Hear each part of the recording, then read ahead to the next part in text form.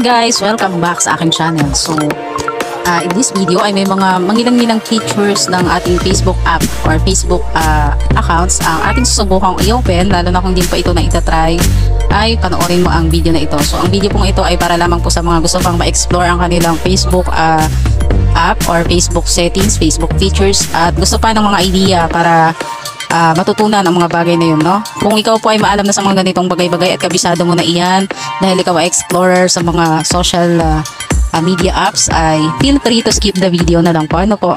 At kung ikaw naman interested ay simulan na natin siya agad-agad guys, no? So, pupunta lang po tayo sa ating Facebook app. Itap natin iyan.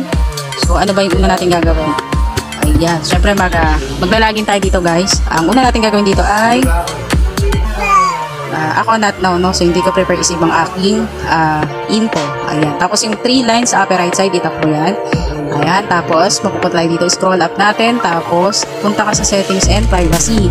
And then, itap natin si settings. Tapos, pag lumabas na ang ating settings, scroll up. Ayan. And then, uh, itap natin itong apps and websites. So dito guys, yung mga apps na ating nag nagamit before na hindi na natin ginagamit ngayon, ayan, for example, ayan mga yan. Ayan. Iyan ay uh, uh, ilalagaw natin yung ating Facebook account dyan. No? Kasi uh, kadalasan yung mga apps na yan talaga ay kailangan mong gamitin ang iyong Facebook para makapag-open ka niyan. So, since hindi natin sila ginagamit, hindi na natin kailangan sa ngayon, ay ilagaw natin ang ating account sa kanila. So, sobrang dami yan guys. No? Paano ilagaw yan? No? So, dito sabi dito guys, no? basahin lang natin. No? Kasi itong mga app na ginamit natin before, ay ma-access ang ating public info at uh, kung sa uh, in the last 90 days ay hindi natin ginamit itong mga app na ito ay automatically may expire yung ating yung kanilang access. Pero sabi dito note na kahit hindi natin na ginagamit ito, uh, still uh, meron sila nung ating previously na shinare na info sa kanila. So 'di ba? Parang hindi ganun kasi. So dito ay ayan, i-continue natin. Ayan. So kaya sa akin prefer ko na i-log out na lang yung aking um, Facebook apps or account sa kanila. Ayan. X na lang natin yan. Tapos, so, paano ito burahin guys? So, i-log out natin account. Itong arrow sa right side niya, itap natin yon Tapos dito, it's either itong nasa left na remove or nasa top. Okay lang guys, kahit alin dyan yung itap ninyo. So, akin itong nasa top. Tapos dito sabi, ayan, dito sa taas na box, uh, i-delete daw yung post, videos or events na na-post nitong uh, app na ito sa ating timeline. So ako, chinek ko na lang yan. No? Isama kami yan para remove na lang lahat. Ayan. Tap mo yung remove. Tapos, ayan. So makikita mo naman sa baba, no, lalabas iyang. Ayan, na-remove na nga siya. Tapos, isa pa ulit, ganun lang pa ulit-ulit, remove. Tapos, tap mo yung box na yan, remove.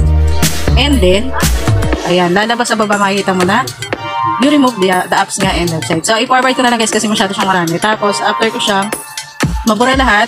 So, sobrang dami noon. Manual kasi wala namang nakalagay na pang isahang bura lang, no? Ito na yon Ito na yung lumabas na you don't have any apps or websites to review.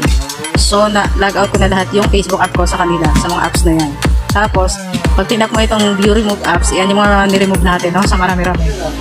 Tapos, next naman na gagawin natin ay yung mga notifications, guys, dito sa preferences. Sa baba, no?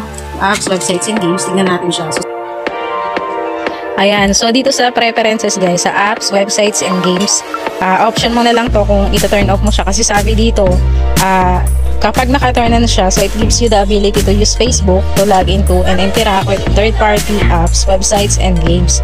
So hindi ka makakapag-login uh, sa ibang apps or websites gamit ang Facebook kapag iti-turn off mo ito. Ayan, for example na lang, no, pag tinap mo yung ano, turn off na yan, lalabas itong settings. So, ayan. Sabi dito, nga, hindi na able to play uh, some games on Facebook. And, your gaming activity may be deleted. So, mabubura yung mga gaming activity mo. Kaya, pwedeng hindi mo siya i-turn off. Pwede din, oo, depende sa'yo. So, kung ito-turn off mo, tap mo lang yung turn off na yan. Tapos, itong sa baba, guys, ayan, tinurn off ko talaga yan, guys. Kasi, dito kapag, di ba, yung mga friends mo na nag-play ng games, tapos may mga invites, invites, no? Tapos invites yung mga friends, ganyan. So, kung kayo mo ng mga ganon, ini-invites ka, uh, ini-invite ka sa mga games nila, magkakaroon ka ng notification na ganon, i-turn off mo yan para hindi mo na ma-receive yung mga ganyan. Yan, tap mo na yung turn off. Ayan. paano nga ba malaman kung naka-open yung iyong account sa ibang device, no? At paano i-log out yon, no? Kung hindi mo naman, ah, hindi naman ikaw yung nag-open, makikita natin kung saan yung ah, location, pati yung oras, no? So, nandito tayo ulit sa settings. Itap natin yung settings. Ayan. Tapos, scroll up. And then, ayan. Itap natin itong ah, security and login. Ayan. Tapos, so, ayan, no, nakikita mo, nakita nyo naman, ayan. Hindi ko, ah, hindi ko device lahat yan, no. Sa akin dyan ay yung Oppo A15 lang. Tapos, ayan nga, antipolo. So, dyan, kapag tinap mo yung see all, tap natin yung see all. Ayan, so, makikita mo, lumabas lahat, no. So, kung, kung hindi ka familiar sa mga device na ginamit, yan, na inopen yung iyong account, syempre nakakapag-alala yung ganun, ano. Tap mo lang yung log out of all sessions. Ayan. So, matitira lang dyan. Ayan, tap mo yung log out. Ang matitira lang dyan, guys, kung saan talaga yung device na ginagamit mo. So, for example, ito ngayon sa akin, no? and active now nakalagay. Yung Oppo na yan. Kasi yan yung ginagamit ko ngayon.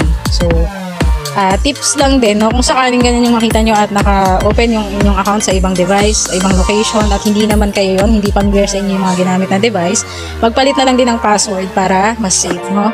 Ayun. So, ganun lang guys kadali. Ganun lang kadaling malaman kung ah naka-open ba sa ibang device ang iyong account. Ah, hopefully nakatulong itong video na ito at kung nagustuhan mo ay please subscribe and thank you for watching!